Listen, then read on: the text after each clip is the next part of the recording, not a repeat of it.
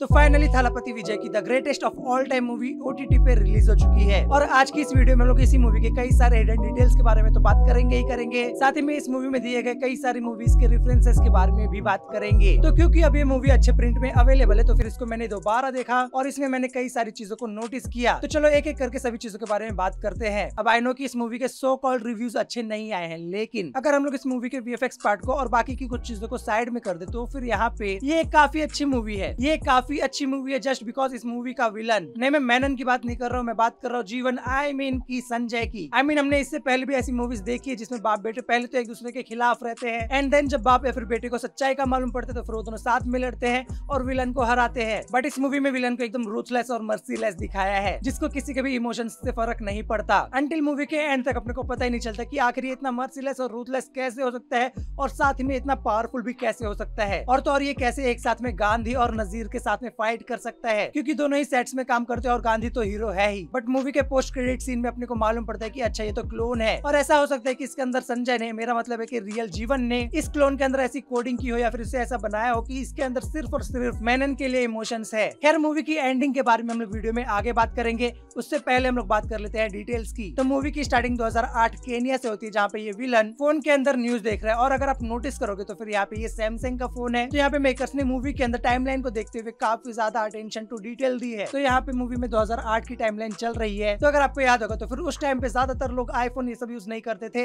Samsung को उस time पे एक प्रीमियम फ़ोन माना जाता था। तो यहाँ पे तो अटेंशन टू डिटेल है ही। साथ ही में यहाँ पे इस सीन में भी ये लोग ये ट्रेन के फुटेज देख रहे हैं। ये भी ओल्ड मॉडल के कंप्यूटर्स है, जो की मोस्ट ऑफ़ उस टाइम पे यूज़ किया जाता था। इसके अलावा यहाँ पे बैंकॉक में भी जब सीसीटीवी फुटेज ये लोग यहाँ पे देखते रहते हैं तो फिर ये ऑफिसर कैसेट को अंदर डालता है। उसके बाद में हॉस्पिटल का सीसीटीवी फुटेज देखते हैं। और आपको ये तो पता ही होगा कि पहले के टाइम पे कैसेट्स को ज़्यादातर यूज़ किया जाता था। इनफैक्ट गेम्स भी कैसेट्स में मिला करती थी। तो यहाँ पे इन लोगों ने कैसेट्स का यूज़ तो किया ये साथ ही में यहाँ पे टीवी भी ओल्ड मॉडल है। नेक्स्ट यहाँ पे अगली डिटेल के बारे में बात करें तो फिर यहाँ पे हम देखते हैं कि गांधी किसी साइंटिस्ट का फेस मास्क लगा के इस ट्रेन में आया है। वेल well, अगर आपको नहीं पता तो फिर यहाँ पे गांधी कैप्टन विजय कांत का मास्क लगा के आया है जिसको इन्होंने एआई का यूज़ करके यहाँ पे अपने को मूवी में दिखाया है। और हाँ अगर आपको नहीं पता तो फिर ये साउथ के वेल नोन एक्टर है और साथ ही में तमिलनाडु लेजिस्लेटिव असेंबली के फॉर्मर लीडर भी थे। तो उन्हीं को ट्रिब्यूट देने के लिए यहाँ पे लिखा भी हुआ है की वी मिस यू कैप्टन। और हाँ उनके नाम में कैप्टन उन्हें उनकी मूवी की वजह से मिला है। इसके अलावा यहाँ पे मूवी के अंदर कैप्टन विजयकांत का सिर्फ़ चेहरा यूज़ नहीं किया गया है। चेहरे के साथ में यहाँ पे गांधी उनकी आवाज़ भी कॉपी करता है।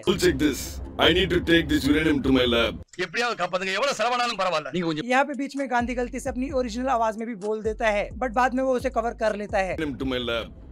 ओनली देन और अगर आपने इस मूवी का हिंदी डब वर्जन देखा है तो फिर आपको शायद से ये पता होगा कि मूवी के एंड में भी विजयकांत का ज़िक्र होता है जहाँ पे शिवा कार्तिक हिंदी डब में रोहित शेट्टी का नाम लेते हैं। रोहित शेट्टी की फ़िल्म बनाने नहीं। वहीं पे ओरिजिनल लैंग्वेज में शिवा कार्तिक रोहित शेट्टी की जगह पे विजयकांत बोलते हैं। नेक्स्ट मूवी जब आपने देखी होगी तो फिर इस मूवी का इंट्रो देखने के बाद में आपको ज़रूर से ज़रूर लियो मूवी के इंट्रो की याद आ गई होगी। कुछ ऐसी ही एडिटिंग थी उसकी भी।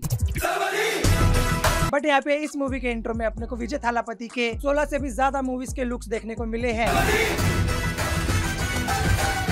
और अगर मैं बात करूँ उन सभी मूवीज़ के बारे में तो फिर यहाँ पे सबसे पहले ये लुक है नलाया थिरपू मूवी का, जहाँ पे विजय थालापति काफ़ी ज़्यादा यंग थे। जिसके बाद में ये लुक है कुवे उन्ना कागा मूवी का, ये काधा लुक मर्यादा मूवी का, ये बद्री का ये थिरुमलाई का, ये पोखरी, ये वेला युद्धम, ये यूथ, पुली, गिल्ली, थलाईवा, जिल्ला, इसके बाद में ये थेरी, फिर मार्शल, और वे तयकरण फिर कावालान एंड देन बिगिल, उसके बाद मास्टर, उसके बाद बीस्ट, और फिर लियो मूवी का, उसके बाद में आता है गोट मूवी का लुक इसी तरह से इस मूवी के अंदर थालापति विजय की उनकी मूवीज़ से कई सारे रेफरेंसेस है। एनीवेज यहाँ पे हम लोग सुनते हैं कि गांधी ने 68 इंटरनेशनल ऑपरेशंस सक्सेसफुली कंप्लीट किए हैं। 68 सक्सेसफुल इंटरनेशनल ऑपरेशन और अगर आप मूवी के अंदर नोटिस करते तो फिर मूवी के अंदर अपने को कई बार 68 नंबर का रेफरेंस मिला है। सबसे पहले तो यहाँ पे 68 इंटरनेशनल ऑपरेशन इसके बाद में इस बार का नाम बार 68 है जो की थालापति विजय की सिक्सटी मूवी का रेफरेंस है जहाँ पे सिक्सटी थालापति विजय की सिक्सटी मूवी का रेफरेंस और यहाँ पे नाइनटीन रेफरेंस है थालापति विजय के डेट ऑफ़ बर्थ का। इसके अलावा यहाँ पे जब अपने को यंग जीवन का फ़र्स्ट लुक मिलता है तो फिर यहाँ पे भी उसके नंबर पे टी सिक्सटी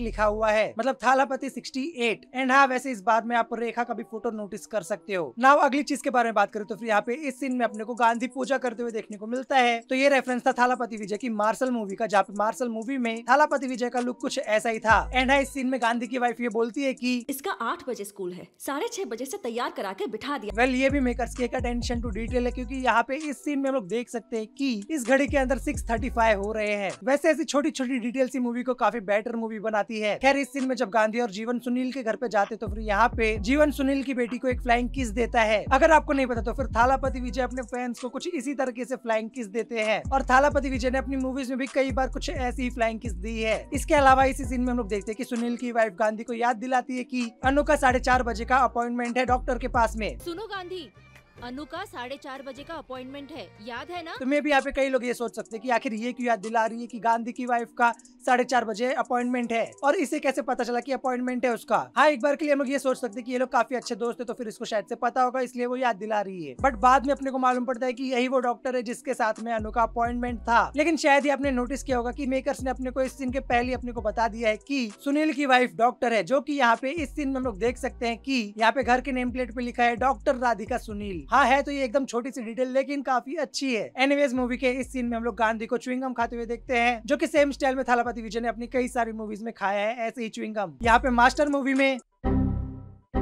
सॉरी ये वाला सीन नहीं, यहाँ पे बिगिल मूवी में थेरी मूवी में और भी ऐसी कई सारी मूवीज़ में। ना हम लोग ने मूवी के अंदर ये देखा है कि जीवन को स्पाइडरमैन काफ़ी पसंद है, चाहे वो उसका खिलौना हो या फिर इस सीन में जब गुंडे लोग गांधी की फैमिली का पीछा करते हैं, तब जीवन के सीन में स्पाइडरमैन का गाना बजता है। तो क्या आपने नोटिस किया कि जब जीवन वापस से आता है घर पे तो फिर यहाँ पे उसके घर में, और इसलिए उसके कमरे में स्पाइडरमैन नो वे होम का पोस्टर लगा हुआ है। इसके अलावा इस मूवी के अंदर आपको मिशन इम्पॉसिबल का रेफरेंस तो पता ही चल गया होगा, जहाँ पे गांधी अपने मुँह से मिशन इम्पॉसिबल का ट्यून बजाता है, और बाद में इसी सिक्वेंस से मिशन इम्पॉसिबल का म्यूज़िक भी बजता है।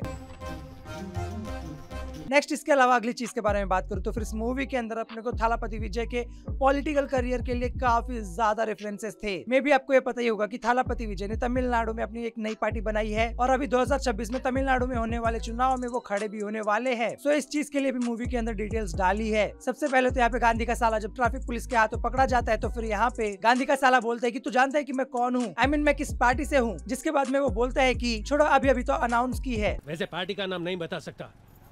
अभी अभी अनाउंस किया है ना? तो ये तो सीधा सीधा रेफरेंस था विजय थालापति की पार्टी से एंड आई नो कि आप में से कई लोगों ने इस चीज़ को नोटिस किया होगा लेकिन इसी सीन में अपने को एक और चीज़ दिखाई गई है जो कि काफ़ी अच्छी चीज़ है। यहाँ पे जब गांधी का साला जब अपने पॉलिटिकल कनेक्शन की वजह से और अपनी पहचान की वजह से गलत काम करने के बावजूद बचने की कोशिश करता है तो फिर यहाँ पे गांधी बोलता है की इसे छोड़ना मत और इससे अच्छे से फाइन लेना। मिस्टर शरद चंद्र पूरा चालान काटो। एक रुपया भी नहीं छोड़ना। जो ऑफेंस किया है, पूरी वसूली करना। तो यहाँ पे मेकर्स ने काफ़ी स्मार्टली ये दिखाने की कोशिश की है कि जब थालापति विजय सीएम बनेंगे तो ऐसा कुछ भी नहीं होने वाला है कि कोई अपने पॉलिटिकल कनेक्शन की वजह से और पहचान की वजह से बच जाए। और वैसे भी रिसेंट में हम लोग ने ऐसे केसेस तो देखे ही है। एनीवेज एक और डिटेल के बारे में बात करूँ तो फिर यहाँ पे इस सीन में हम लोग देखते हैं कि जब गांधी अपनी बेटी को स्कूल छोड़ने जाता रहता है तो फिर आप उसकी गाड़ी पे नोटिस करोगे तो फिर उसके नंबर प्लेट पे लिखा हुआ है T N zero seven C M two thousand twenty six अब आई डोंट थिंक सो कि आप में से किसी को ये समझाने की ज़रूरत होगी कि इसका मतलब क्या है? बट मैं समझा देता हूँ कि ये गाड़ी तमिलनाडु 2026 के सीएम की है। मेकर्स ने ये चीज़ शो करने के लिए यहाँ पे ये नंबर प्लेट डाला है। इसके अलावा मूवी के अंदर हम लोग ने देखा की ट्रेन के ब्लास्ट में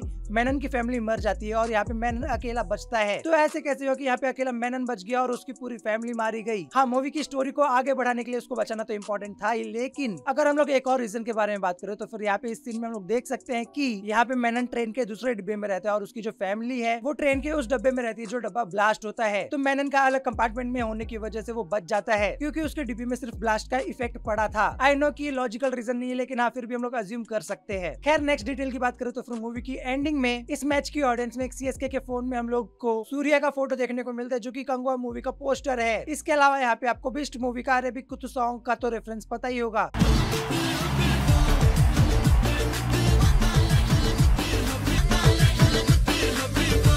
ना अब मैं मूवी के पोस्ट क्रेडिट सीन के बारे में बात करूँ तो फिर हो सकता है की आप में से कई लोगों को ये लगे की मूवी के किसी बीच का सीन है। मेरा मतलब है कि हो सकता है की आप में से किसी को लगे की ये सीन मूवी के मिडल का कहीं का जहाँ पे जहाँ पे जीवन का गांधी के घर जाने से पहले का कोई ये सीन होगा। अब मैं ये इसलिए क्लियर कर रहा हूँ क्योंकि मैंने कुछ लोगों की मुझसे सुना की ये मूवी के किसी बीच का सीन है जो कि अपने को पोस्ट क्रेडिट सीन में दिखाया गया है। वेल well, ये मूवी में जीवन के मरने के बाद का ही इवेंट है जहाँ पे संजय गांधी के सेकंड क्लोन को गांधी के पास भेजने की तैयारी कर रहे हैं। अब इसके पीछे दो रीजन है। पहला ये कि जब संजय अपनी लैब में जाता है तो फिर यहाँ पे उसके क्लोन के नीचे लिखा हुआ है क्लोनिंग जीवन ज़ीरो थ्री तो इसी से अपने को ये मालूम पड़ जाता है कि ये जीवन का सेकंड क्लोन है, और जो गांधी के हाथों मरा वो फ़र्स्ट क्लोन था। बट अगर मैं यहाँ पे एक और रीजन दू तो फिर यहाँ पे इस सीन में जब जीवन का ये वाला क्लोन जब गन फायरिंग की प्रैक्टिस कर रहा रहता है, तब हम यहाँ पे गांधी की फ़ोटो देख सकते हैं जिसपे ये प्रैक्टिस कर रहा है। और अगर आप नोटिस करोगे तो फिर इस फ़ोटो में गांधी ने जो कपड़े पहने हुए वो इस सीन के हैं। तो मोस्ट प्रोबेबली वाली फ़ोटो इनके पास में इसी टाइम पे आई होगी, और मोस्ट प्रोबेबली इन लोगों ने गांधी का फ़ोटो इसी सीन के टाइम पे कहीं पे लिया होगा। जब गांधी जीवन से मिलने आता है। और एक और चीज़, इसी सीन के बाद में जीवन गांधी के साथ में इंडिया चले जाता है। तो जीवन को संजय से मिलने का टाइम ही नहीं मिला और ये सवाल ही नहीं पैदा होता कि यहाँ पे मिलने के बाद में जीवन संजय से ये पूछे।